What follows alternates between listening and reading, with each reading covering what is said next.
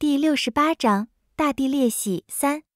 幻妖，山灵水秀的金阳坡天生孕育，与半路出家的妖物邪物都不同，是上天眷顾的强者。倘若一切没有变故，他或许会成为林中精灵。只可惜多年前一场大瘟疫骤然爆发，村民们不愿背井离乡，导致疾病迅速蔓延，转瞬席卷全村，金阳坡就变作天然坟场。这里的住民遭遇横难，暴尸荒野无人悼念，亡灵心中怨念聚拢在一起，凝成了幻妖极恶的核心。幻妖有了意识，又可轻易变换形态，可能是山间风、树间雾、新居民带来的小女儿，一切就变得极其恐怖。没有强劲的对手，就没有精彩的剧情。原著捉妖写到了金阳坡尾声一节，就是一个小高潮。柳福一为幻妖所伤，被他挟持着跳进了裂隙，生死不明。木生被妖物围困，与此同时，似乎还嫌场面不够乱似的，加入了匆匆赶来的端阳地基。地基告白被拒，在宫里痛定思痛地反思了几天。这几天里，佩云一直在他耳畔鼓励。佩云说：“既然不能让柳公子放弃捉妖，那殿下便支持他的事业。”助他一臂之力，也算是还他先前救命的恩情。端阳帝姬深以为然，当即从钦天监中点了四个最厉害的方式，一路舟车劳顿赶来，想助柳福一一臂之力。未料见到心爱的人的最后一面，就是看到他被幻妖拉着跳进了深不见底的裂隙。当时柳福一胸前一个血洞，面如金纸，毫无生气。端阳坐在裂隙旁边，哭得肝肠寸断。身后四个方士老头面面相觑，苦着脸，不知如何劝解。许久才小心翼翼道：“殿下，那柳公子已被掏了心，眼见是不能活了，我们还是回去吧。”端阳双眼血红，狠狠地推了他一把，如同发狂的小兽：“你才不能活了，还不给我掌嘴！”那方士暗暗叫苦，在自己脸上装模作样的打了几下。另一个老头顿了顿，委婉道：“殿下息怒，呃，此地多邪，妖物频出，为殿下玉体着想，还是快快回宫。当今天子不喜鬼神之事，钦天监活得极其窝囊。这四个方士空有一身本事无处使，被尊贵的地基点来重用，自然是心中窃喜。”可没想到，这是个倒追男人不要命的，横冲直撞，不听人言。这才明白，这烫手山芋扔不掉了。端阳帝姬狠狠瞪着他，要回你自己回，本宫不回去。他咬了咬牙，似乎下定决心，指着旁边那黑洞洞的深渊，一字一顿道：“本宫要下裂隙。”妙妙心里一顿，来了。果然，一旁遭遇重创。沉默的像影子人一般的木瑶，听到这三个字，仿佛立刻惊醒了，飞速走几步，眼见就要往裂隙里跳。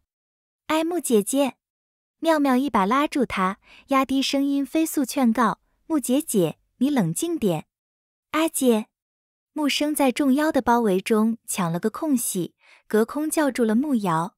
她额上碎发已经被汗水打湿。脸色惨白，整个人看上去像是从水缸里捞出来的。他双目发红，阿姐别下去，那下面，那下面可能是朕。这次不是夸大其词。幻妖跳下了裂隙后便消失了。如若地下是幻妖的家，那裂隙便是幻妖家的门。一只大妖抢了宝物回了家，却不关门，难道是专等着人上门讨债吗？幻妖留着裂隙，就是等着慕瑶义无反顾地跳下陷阱。但那究竟是什么样的陷阱，谁也无法预料。慕瑶自然也懂得这个道理，可是他此刻顾不上生死，只是望着裂隙，绝望道：“福一在下面，阿姐，下面危险，别下去。一对多本就危险，要眼观四路，耳听八方，最忌分神。木生拦他的功夫。”已经挨了好几下，转瞬便从平手变成了劣势。他在四面八方的攻击中分神，已经快顶不住了。一旦有一个缺口，他就会立刻被妖物吞没。木瑶径自往裂隙走，脸色很差，是生是死，我也要把符衣带上来。妙妙的心提到嗓子眼里。原著写到这里，总是藏匿于阴暗角落的捅刀小能手灵鱼再次出现了。他误以为柳福一已死，伤心欲绝，悲伤霎时转化成恨意，把还在迟疑的木瑶一把推下了裂隙，自己跑进了树林。木生木字尽裂，因此恨他入骨。这就是他在四分之三阶段的任务，他要在木生眼皮子底下，把他最爱的姐姐推进裂隙里去。他左转右转，焦虑的几乎站立不住。旁边的端阳地基还在和方氏争执：“我凭什么不能下裂隙？”地基千金之体，四个穿道袍、蓄长须的方氏对视几眼，咬牙齐齐跪下。地裂之下妖气浓重，恐为魔窟。地基若是以身涉险，我等万死难辞其咎。地基一时语塞，许久才问：“既然不想我以身涉险。”就不能陪本宫一起下去吗？这方士们面面相觑，脸色都很难看。下面实在危险，还是请地基一架。他恨恨地望着地上跪着瑟瑟发抖的几个方士的脸，觉得他们就像是纸老虎，吃着皇家俸禄，遇事却胆小怕事，全然靠不住。指着他们的鼻子喝道：“你们不是长安城里最厉害的方士吗？怎么连一个裂隙都不敢陪本宫下？”他气得踱了几圈，一跺脚，好，本宫自己下去，不必跟来。地基木瑶忽然伸手拦住他，面色苍白却笃定。地基，请回吧，我会下裂隙，将符衣救出来。端阳怔怔地望着木瑶的脸，那双琉璃瞳如宝石般澄澈，眼角下一颗泪痣，清冷美艳。他话语虽轻，却不容辩驳。愁得抓耳挠腮的林妙妙望见了地基，乱转眼神慢慢定了下来。木生的眼角血红，几乎变成了哀求：“阿姐，我求你！”他猛然一放捉妖柄，将弓到身前的妖物击开，手上爆出几个火花，却因为气力不支，那火花仅仅生了一簇细弱的小火苗，便匆匆熄了。他似乎妥协到极致：“等我一下，我陪你下去。”木瑶的背影一僵，妙妙也跟着一呆。原著里木生百般阻挠木瑶下裂隙，是因为他对柳福一的生死漠不关心，自己不救，也私心不想让姐姐去救。二人激烈争辩，才给了灵鱼可乘之机。现在剧情已然走偏，木生的话已经说到这个份上，按照常理，这时候木瑶应该等着弟弟了。说不定他还会返回身助弟弟一起杀妖，二人再一并下裂隙，多少有个照应。可是妙妙的任务不许他再等下去了，事成事败，在此一举。此时此刻，林妙妙、木瑶、端阳、地基三人站在一处，相互之间离得很近。恰好四个方士见到端阳站在了裂隙边，生怕地基脑袋一热跳下去，或是脚下踩空坠下去，也一股脑的涌了过来，将地基团团围住，想把他拉到安全的地方。裂隙旁边一时间聚拢了七个人，拥挤的混成一团。林妙妙眼疾手快，一把将木瑶推了下去，犹豫半秒，随即拽着她下落的衣角，紧跟着她跳了下去。高喊道：“木姐姐，等等我，我也要去救柳大哥。”木生听到喊声，难以置信的一望，浑身血液结成了冰。非但阿姐一意孤行跳下了裂隙，旁边的林妙妙也跟着她义无反顾地跳了下去。两个人的身影转瞬间全部消失，甚至没有看他一眼，脑中一片空白。转瞬之间，心中天崩地陷。旋即，他勉力维持的防御圈被攻破了，万般攻势如几丈高的海啸都头盖脸而来。四个方士目不转睛地盯着裂隙下看，几秒钟的功夫，像下饺子一样刷刷下去。两个人半晌了，却连个到底的声响都没有。这裂隙仿佛地狱张开血盆大口，来一个吞一个，尸骨无存。几个方士出了一身冷汗，生怕端阳地基也跟着下去，连拉带拽将他往外拖。放开本宫！你们放开本宫！端阳地基拳打脚踢，哭得几乎崩溃。我也要去救柳大哥。话音未落，大地猛地震颤一下，随即狂风暴起，所有树干疯狂摇晃，叶片如雨，连地上的沙砾尘土都打着爪上了天。妖物的厉声尖啸骤然齐声响起，惨烈无比，几乎要将夜幕撕穿。